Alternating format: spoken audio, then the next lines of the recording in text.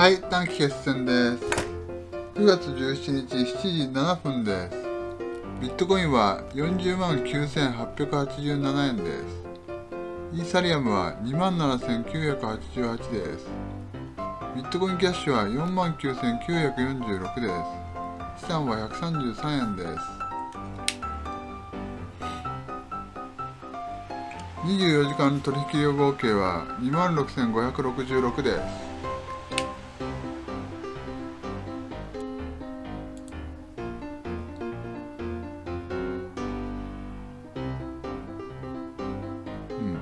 戻ったね。30万終わってないのか。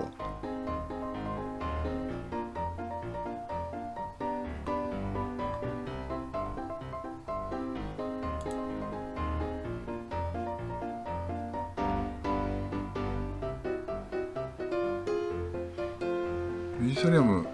ああイーサリアムクラシック。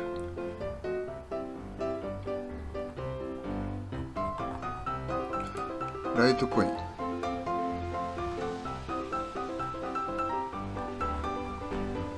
ットコインキャッシュ。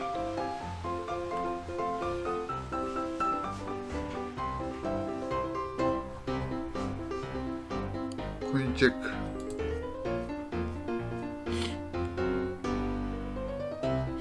えーリスクは、えー、605.72リップルは20.095 G キャッシュは19,569ネムは23.739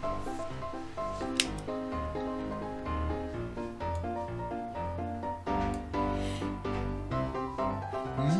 なんだ小安いね。でもビットコイン40万戻ったからね。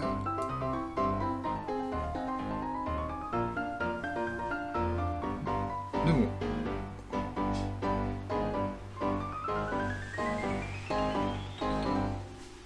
小安いねモナは46財布は0.7478